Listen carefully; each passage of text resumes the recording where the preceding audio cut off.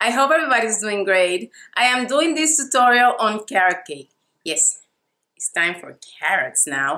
Um, I have different recipes for carrot cake, but this one is more on the tropical style. It has uh, coconut, pineapple, carrots, walnuts, and you can add raisins if you want them. Uh, and you can leave the walnuts out if you don't want them too. Uh, but it's a delicious recipe. You will love it. And here you have it. This is the most delicious carrot cake in the world. I think so at least.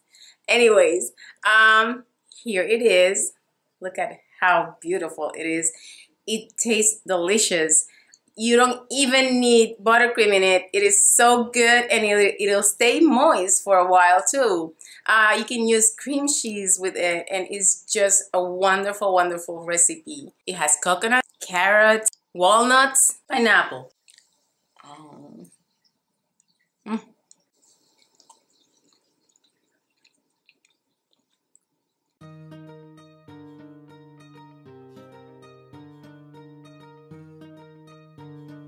You can preheat your oven to 350.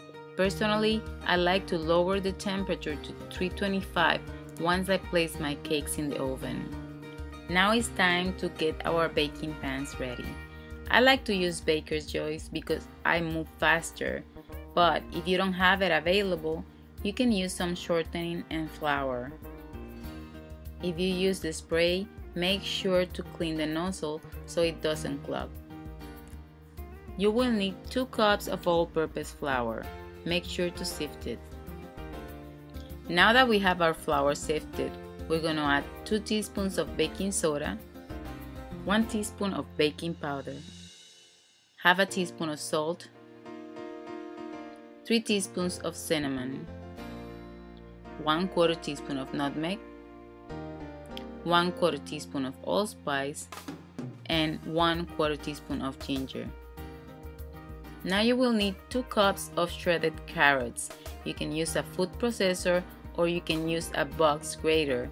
Make sure to use a very fine grain, even finer than the one that you see in this photo.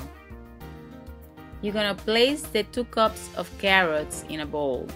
You're gonna add 1 cup of chopped walnuts, 1 cup of flaked coconut, and then you're gonna add 1 8 ounce can of crushed pineapple. Make sure that it's crushed pineapples, 8 ounces, and drain all the juice out of the can. Now you can mix all these ingredients together.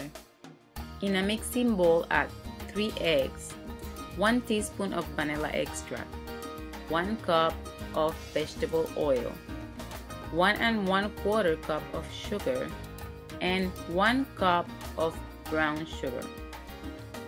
For a lower fat content, you can replace half of the oil with some applesauce.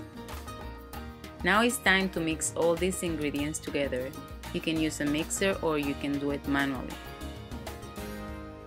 It's time to add the dry ingredients to the mix. Make sure to mix them well.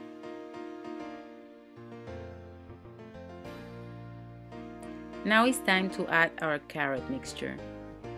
If you're not a big fan of nuts, you can leave the walnuts out. It's time to fold the mixture well. It's time to fill our baking dish. I am using two 8x3 pans. Remember, always it's best not to open the oven while the cake is baking. When the cake detaches from the side of the pan, your cake is ready. Before the cake cools down completely, remember to wrap them well and place them in the fridge so they get really moist.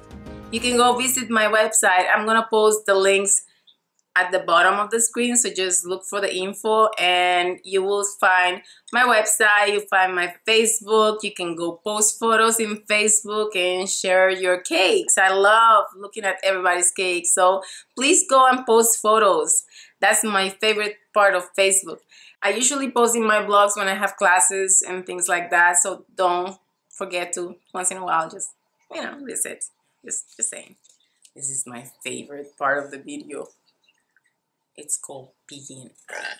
I ate the whole thing. This is what happens. I have all the carrot.